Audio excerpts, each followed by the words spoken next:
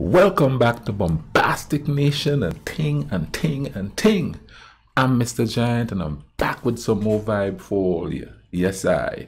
And this is another one of them extra videos of Ting, you know. And this one is called The Tower of London's Haunted History. So, you know, yeah, yeah, let me see what we're on with this here. You know? Thank you all for commenting. Turn on the notifications so you get these extra videos because this is in addition to the five uploads of history. You know what I mean? A London Towers haunted history. Hey, hey, hey. I want to see what this is all about. Let's YouTube and sim simmer. The Tower of London is one of England's most iconic and storied historical monuments. Its history is that of legend. So much so that legions of tourists, historians, and even ghost hunters have flocked to its hallowed halls. Ain't flocking Today, nowhere. we're going to take a deep dive into the true story behind the Tower of London's haunted history. But before we do that, make sure to subscribe to the Weird History channel and let us know in the comments below which historical ghost stories you would like to hear about. Okay, let's go see a tower about a ghost story. Today, the Tower of London is a tourist attraction, a must see destination for both English history buffs and the casual traveler. It's a world famous compound that is as recognized today for its horrible past as it is for possibly other world happenings. Why is the tower haunted, you ask? Well, the answer is pretty simple. The Tower of London is basically like if you crossed the Saw movies with some English period piece, but then stripped out the romance and just added more mayhem. For some context, the initial fortress and tower was built by William the Conqueror in roughly 1066. The walls, courtyards, and other structures were built in the years immediately following. The initial purpose of the tower was to keep local townsfolk in line and scare off potential foreign assailants. Think of it like a big stern warning to anyone who would do harm to the ruling class. The tower held a legendary place in English folklore. People love to spin stories about the tower's occupants, its time as a prison, and even its time functioning as a fully operational zoo. There's rumors of ghostly sightings of princes, walking cadavers, and even bears that have returned from the grave. Thomas Becket was a close personal friend of Henry II. He was christened as Archbishop in 1161. However, the two men had a massive falling out when Becket sided with the church over the king on the topic of who would have jurisdiction over the members of the clergy. To put it bluntly, old Thomas chose poorly. Obviously, Henry was not too pleased and attempted to punish Becket, who fled to France. After living there for a few years, four knights tracked him down and murdered him. Years after, when Henry's grandson Henry III erected an inner wall for the compound of the tower, Becket's ghost was spotted by workers destroying the wall with a massive cross. This happened repeatedly.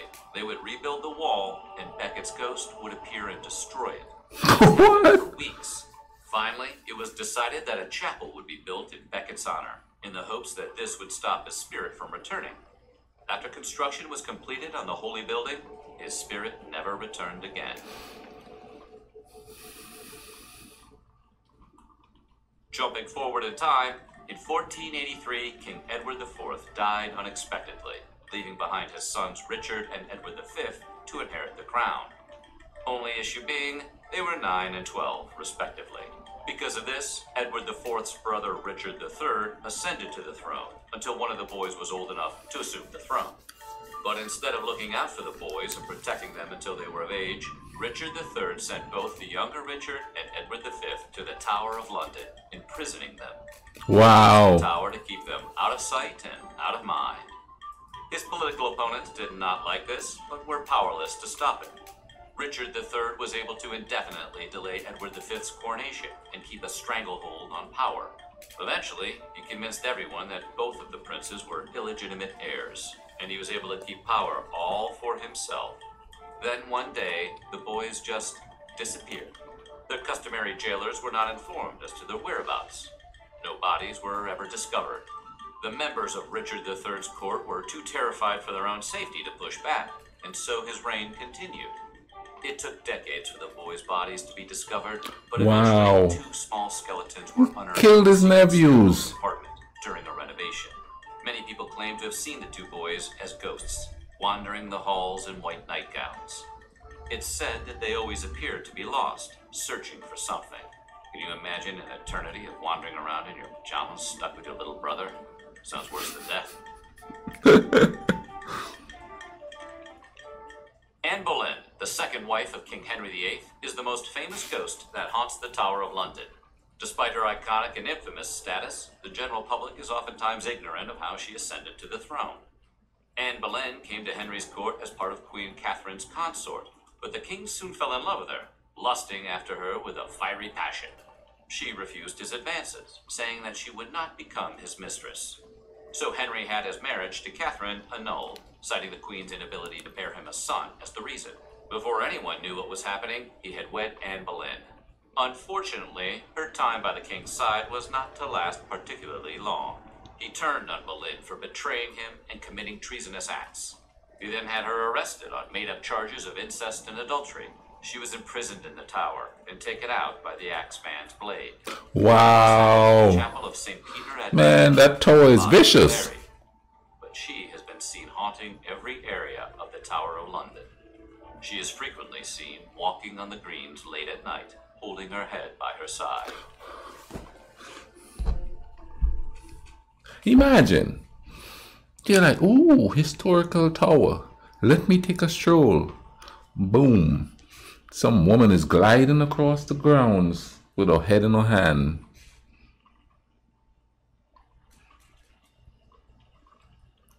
I still want to go see that tower though for historical purposes, but not at night.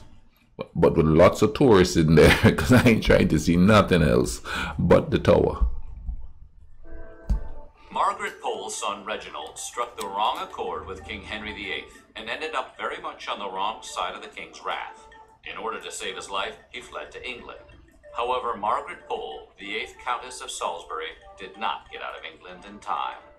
The king sentenced her to be beheaded, but when she was What's up with y'all on the beheading? She refused to kneel. This caused the gathered crowd to murmur and jeer. Murmur, murmur, jeer, jeer. The unrest set the axeman on edge, and he swung impulsively, missing Margaret Pole's neck and plunging the blade into her shoulder. Pole, as much in shock as she was in pain, sprinted around the Tower of London's courtyard, screaming. Like a twisted version of Benny Hill, the executioner chased her around the yard, attempting to finish his task. She eventually was put out of her misery, but the images that were spawned that day continued. Wow. And they have crowds there like it's claimed to have a premiere or something. Reenacting her horrible demise, screaming out for help, calling to us all from the great beyond. This next example of paranormal visitation could easily be viewed as a Scooby Doo villain, but it's completely real. The tower houses many objects and exhibits, displaying them for a contemporary audience to appreciate. One of these items is the armor once worn by King Henry VIII. It's of interest for multiple reasons its connection to the royal line, its historical significance, and the fact that the armor is thought to be haunted. Both tower employees and visitors have levied a multitude of claims against the suit. People have suggested that the temperature around the armor is dramatically colder.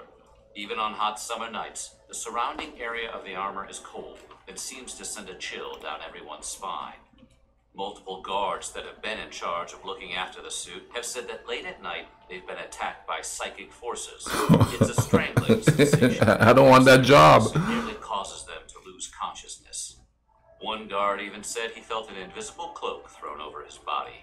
It then twisted like he was being strangled, leaving red marks around his neck.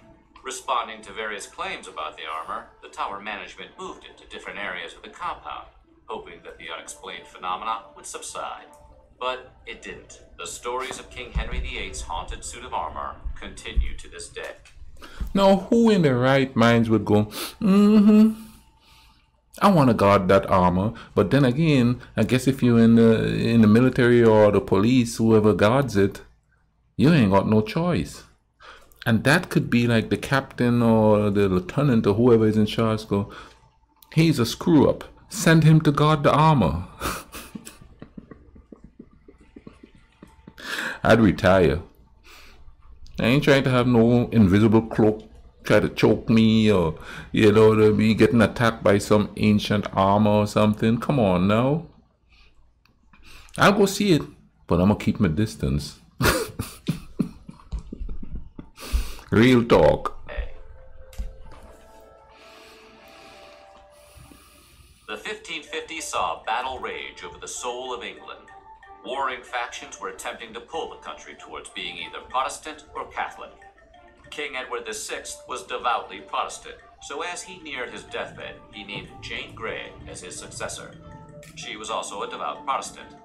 However, soon after Grey ascended to the throne, nine days to be precise, Mary Tudor, Edward's sister, made a claim for the throne. That claim was successful, and Grey and her husband were imprisoned in the Tower of London. They would soon lose their heads as a means of ensuring that they would not find a way to seek revenge. Wow. It has since been reported on multiple occasions that the couple have been seen wandering the compound, hopelessly lost. Their ghosts usually appear in the days leading up to the anniversary of their death. In 1957, a newly employed guard had a harrowing run in with Jane Grey's ghost. He was patrolling the main tower's courtyard late at night, and when he looked up, he saw her headless body pacing along the top of the tower. The man quit and went home right then and Oh there. yeah, I would. Not blame him. No, okay, the tower. The history is uh recorded. No, there are places that are just as old, I take it. That history isn't recorded. And there are people who live in those places. No, thank you. No, I ain't bringing my family in any place. Well, you know, hey, if I'm gonna rent a place from here on out, what happened here?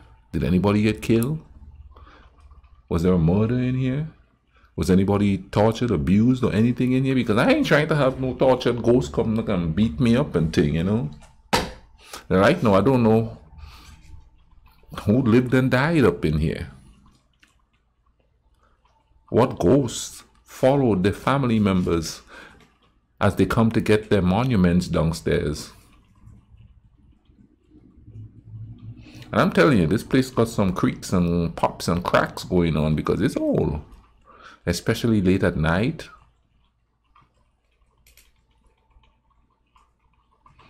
It's kind of quiet now because it's broad daylight and the sun is shining. But at night, I sometimes hear footsteps or stuff coming up them steps. Now, granted, you might say it's my neighbor, but then for years, for at least five years, I live up here by myself. That apartment was empty next door and I heard things.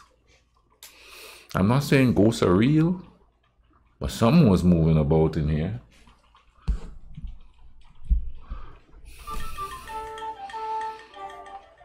Sixteen oh five was a rough year in England. A man named Guy Fawkes carried out the Gunpowder Plot, which, if you're unfamiliar, involved Fawkes leading a resistance group against the Protestant King James. And yes, if you're wondering, he's the historical figure that inspired V from V for Vendetta.